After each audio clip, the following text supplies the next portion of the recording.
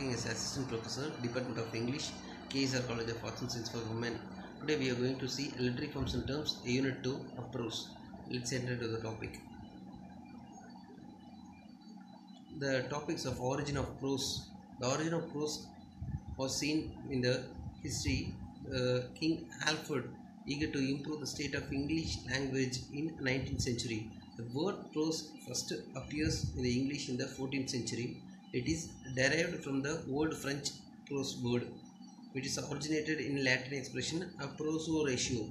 During the 15th century, the prose made an, some remarkable progress because the Englishmen shaped rough material of their native tongue to form the literature for providing the instructions and as an entertainment.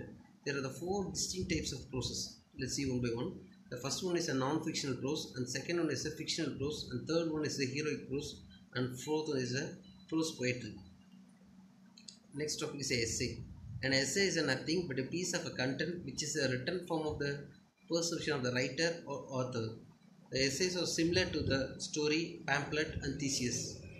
The term essay is formed in the literature not in the ancient origin. It was in the 1571 that the essay was invented by the French philosopher Montaigne. He was called as his short philosophical writings, which were the products of moments and French word essai, which means attempt to write. The word essay comes from attempt to write from the French word. There are five types of essays that are descriptive, expository, narrative, persuasive, and argumentative.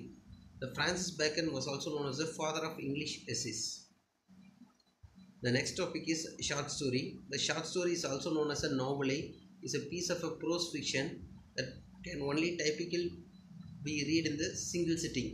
The short stories are were published separately between 1790 to 1810, but the first true collection of the short story appeared between the 1810 to 1830.